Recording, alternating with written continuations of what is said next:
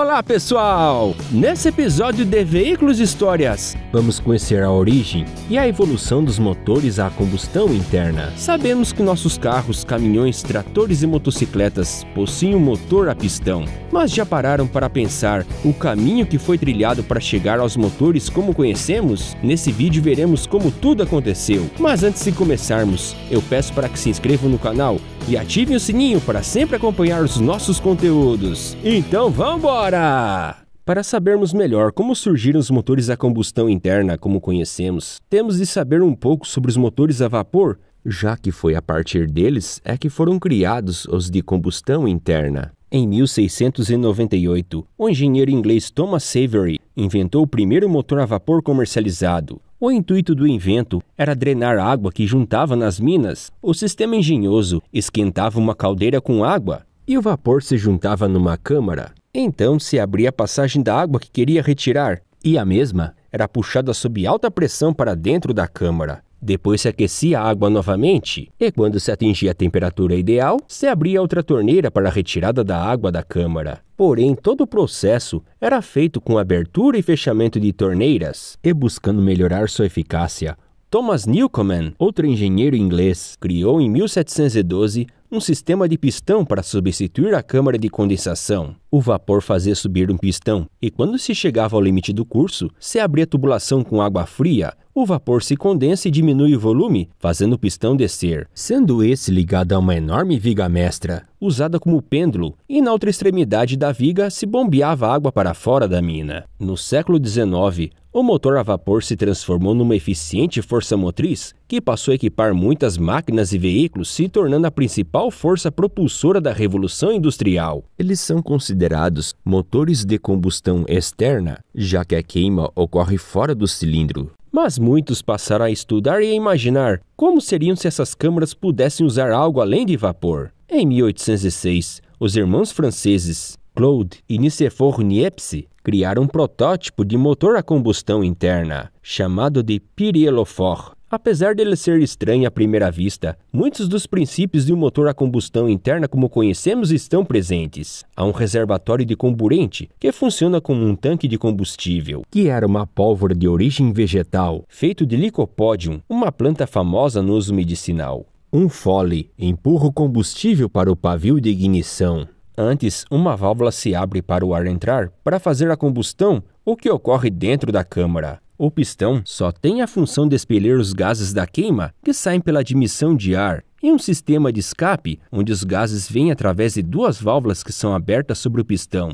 O pistão também manda parte dos gases para um sistema de pistões que acionam a mola propulsora que aperta o fole para empurrar mais combustível. Quando se perde a pressão, a mola empurra o pistão de volta à posição original. Os irmãos equiparam um barco com esse motor e em 1807 navegaram no rio Saône, na França. Apesar de terem patente registrada tanto no país natal quanto na Inglaterra, a invenção não atraiu investidores. Nicéphore Niepce ainda seria o autor de uma importante invenção, a fotografia. Também em 1807, François Isaac de Rivat, inventor suíço nascido na França, faria o primeiro veículo com motor de combustão interna da história. A charrete de Rivat era equipado com motor de um único e grande cilindro, mas seu funcionamento era manual, não possuindo autonomia no funcionamento. O combustível era um balão com hidrogênio. Uma pilha de volta era usada para fazer ignição para provocar a queima. Assim como o motor de Newcomen, o pistão movimentava um mecanismo na extremidade vertical, e ao invés de uma viga mestra, movimentava uma roda dentada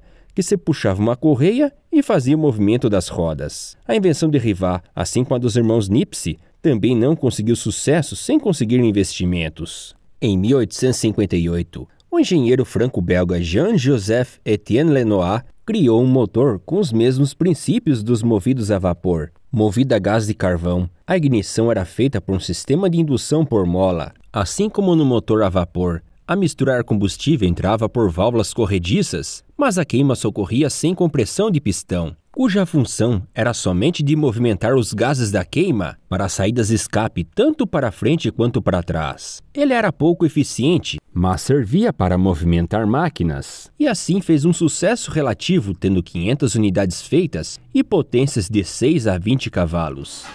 Okay.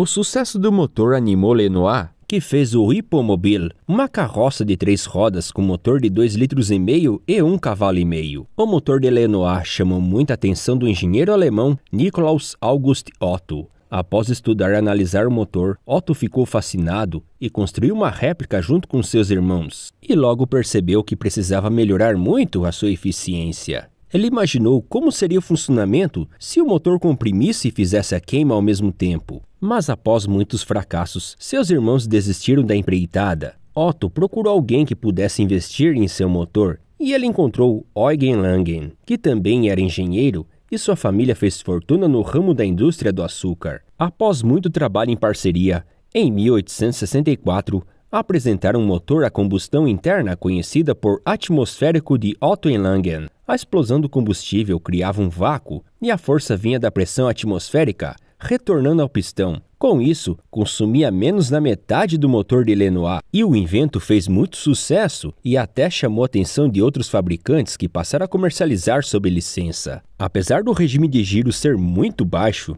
o movimento do volante era garantido através de um jogo de engrenagens multiplicadoras de giros, movimentados por um sistema de pinhão em cremalheira. Antes que a rotação perdesse força, o pistão retornava e o movimento continuava sem perda de força significativa.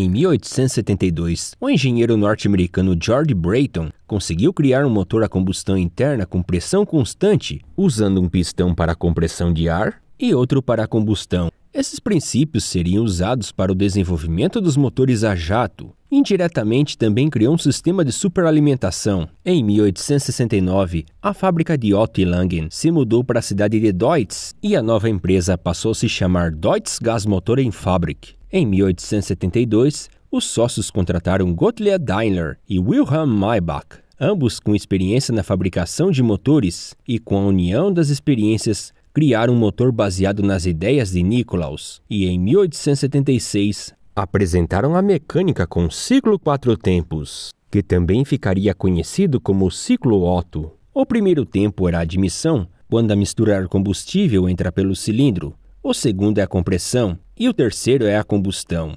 E o quarto é o escape de gases resultantes da queima. A admissão e o escape eram feitos através do controle de válvulas. A eficácia do motor era muito alta e quando a Deutz passou a comercializar esses motores, o sucesso foi imediato, sendo que em 17 anos de produção fabricaram mais de 50 mil unidades. Em 1875, o inventor alemão Siegfried Samuel Marcus inventou um carro com motor a combustão interna, mas diferente do veículo derivado, sua injeção de combustível era feita através de um sistema mecânico que misturava o ar e o combustível, criando uma forma primitiva de carburador. Marcos faria experiência também com uma carroça motorizada. Apesar de ficar famoso na época, ele nunca conseguiu faturar com seus inventos. Em 1878, o engenheiro escocês Sir Dougal Clark, baseado nos experimentos de George Brayton, apresenta o que seria o primeiro motor com ciclo dois tempos. Assim como no motor de Brayton, o motor de Clark tinha um pistão só para empurrar o ar para o motor.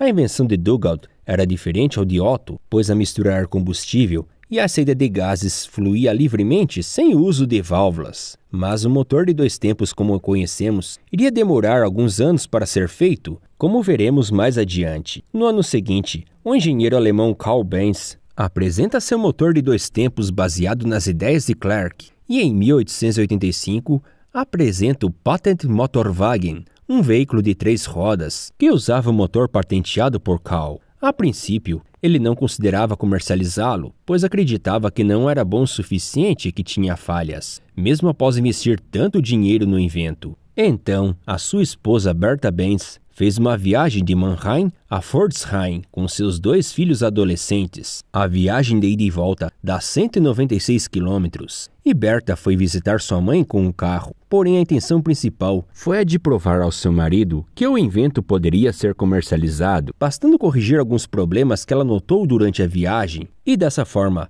Carl seguiu os conselhos de sua esposa e começou a vender o Patent Motorwagen, se tornando o primeiro automóvel comercializado no mundo. Após Gottlieb Daimler e Wilhelm Maybach saíram da Deutz, começaram uma saga em criar motores para locomover qualquer veículo. Mas para isso precisavam fazer um motor que pudesse controlar a rotação. E em 1883 conseguiram o êxito, e foi batizado de Sonho de Daimler. Assim, o operador poderia controlar sua velocidade como numa montaria a cavalo. Em 1885, Daimler e Maybach criaram um motor vertical que foi batizado de relógio do avô por sua aparência lembrar os relógios de pêndulo e ele acabou sendo usado para equipar o Reitwagen de 1885, que é uma das primeiras motocicletas da história, sendo a primeira com motor a combustão interna. Ele tinha um cilindro com 264 cilindradas, e seu quadro era em vigas e madeira. Eles também equiparam um barco que se chamou Neckar e acabou fazendo sucesso, se tornando o principal produto da empresa de Daimler e Maybach. Também equiparam bondes e até um balão, se tornando uma espécie de dirigível. Em 1886, apresentaram um automóvel que era uma carroça equipada com o relógio do avô. Diferente do carro de Carl Benz, esse veículo tinha quatro rodas. No entanto, o primeiro automóvel de Daimler e Maybach só seria vendido ao público a partir de 1889. O segundo produto dos sócios foi o Stahlradwagen, que usou o primeiro motor em V, no caso um V2, desenvolvido pelos próprios engenheiros. Naquela época, os combustíveis dos veículos eram os mais variados, como querosene e benzina. A gasolina já existia desde que o petróleo passou a ser explorado, sendo resultante de um processo de destilação, mas era descartado já que não havia serventia. Em 1890, o inventor inglês Herbert Ackroyd Stewart apresenta um motor capaz de queimar querosene e outros combustíveis de baixa volatilidade, sem um uso de faísca. Sua invenção ficaria conhecida como motor de bulbo quente ou semi-diesel. O invento de Stewart poderia funcionar sem o uso do sistema de ignição, sendo necessário aquecer um bulbo antes de fazer o motor funcionar. Por isso seu nome. Uma vez aquecido, basta movimentar e ele dará a partida, e funciona só na força de compressão.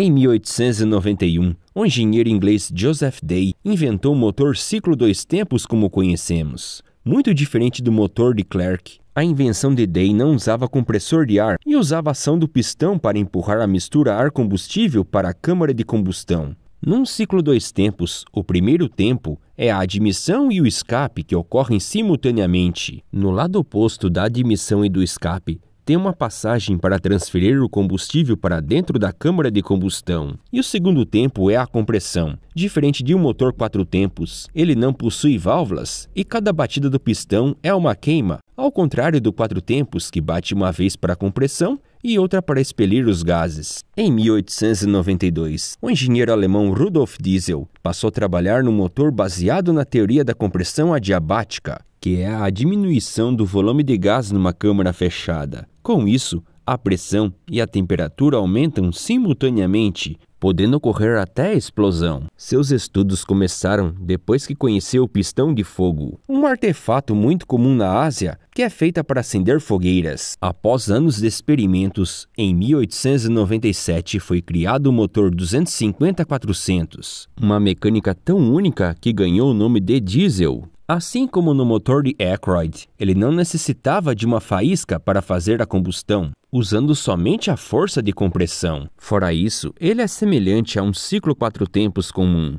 O motor de Rudolf foi feito pela empresa Maschinenfabrik Augsburg, que anos mais tarde se juntaria com uma fabricante de motores em Nuremberg e passou a se chamar Maschinenfabrik Augsburg-Nürnberg, ou simplesmente MAN. Ele ainda não possuía um sistema de cabeçote e injeção de combustível eficaz e assim era necessário o uso de um compressor de ar para funcionar. Em 1897, o engenheiro alemão Robert Bosch criou um sistema de magneto de alta pressão que possibilitou uma carga de energia forte e constante para as velas de ignição. Logo, esse sistema estaria sendo usado por muitas fabricantes de automóveis. A vela de ignição teve três patentes diferentes, todas de 1898, a do próprio Robert Bosch, com seu colega engenheiro Gottlob Ronald, do engenheiro inglês Frederick Richard Sims e do famoso e genial engenheiro sérvio Nikola Tesla. Em 1898, o fabricante de bicicletas norte-americano Walter Lorenzo Marr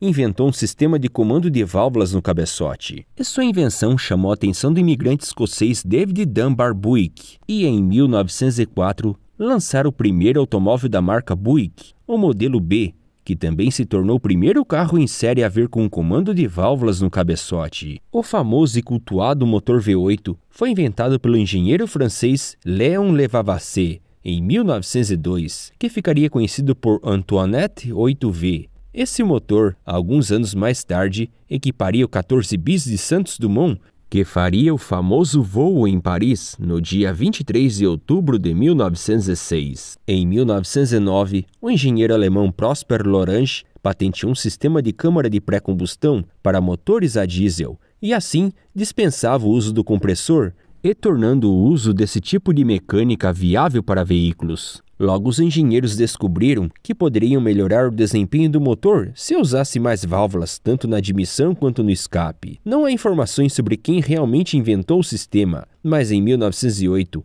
a fabricante francesa Arié competia com modelos de um cilindro e quatro válvulas. Em 1910, a fabricante italiana de carros de luxo Isotta Fraschini lança o tipo KM, dotado de um enorme motor de quatro cilindros de 10,6 litros, que tinha quatro válvulas por cilindro e comando simples e válvula no cabeçote. O primeiro a ver com duplo comando e quatro válvulas por cilindro foi o modelo de corrida Peugeot L76 de 1912, com motor de 7,6 litros, o carro bateu o recorde de velocidade em 1913, chegando a 170 km por hora de velocidade máxima. Em 1912, o Cadillac modelo 30 foi o primeiro carro fabricado em série a vir equipado com a partida elétrica, que gradualmente aposentou a famosa e arcaica partida manivela. Em 1916, a Companhia Britânica de Aviões, Armamentos e Navios Vickers criou o que seria o primeiro sistema de injeção Common Rail para ser usado nos motores dos submarinos classe G, que teve importante participação na Primeira Guerra Mundial. O sistema, décadas mais tarde, seria usado em motores a diesel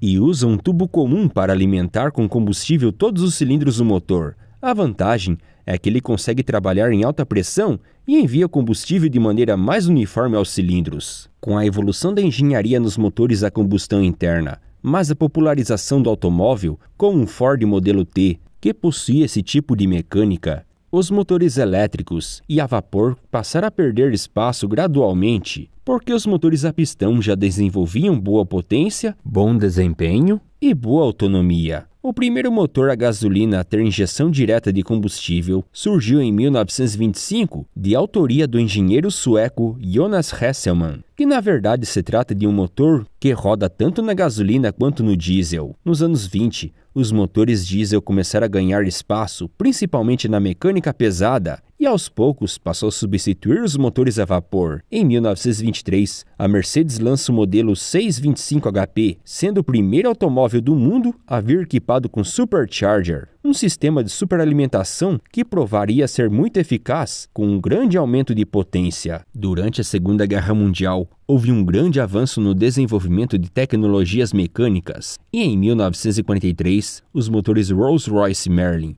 e Wright R3350 foram os primeiros a vir com os chamados carburadores de pressão, que é um sistema de injeção mecânica de combustível. O primeiro a vir com esse equipamento foi o pequeno e modesto automóvel alemão Goliath GP700, cujo motor de dois cilindros tinha um sistema desenvolvido pela Bosch. Em 1957, o engenheiro alemão Felix Wankel cria o primeiro protótipo do motor sem pistões, conhecido por motor rotativo ou Wankel. A invenção de Felix teve a ajuda da montadora alemã NSU.